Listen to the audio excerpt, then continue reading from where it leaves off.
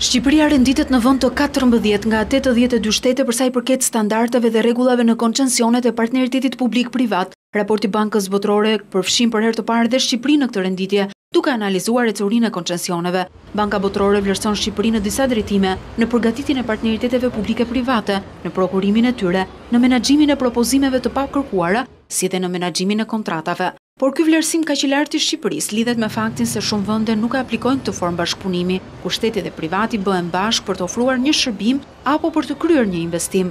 Kjo formë bashkëpunimi ka risqet e veta pasi kushtet e kontratës mund të ndryshojnë me kalimin e viteve. Shqipëria rezulton të jetë e pozicionuar mirë me vendet e rajonit si Bosnja-Hercegovina, Bullgaria, Rumania e të tjerë. Vendi ynë rezulton se ka plotësuar edhe kuadrin ligjor për partneritetet publike-private, ndërsa shumë vende të tjera i trajtojnë ato si pjesë të ligjit të prokurimit.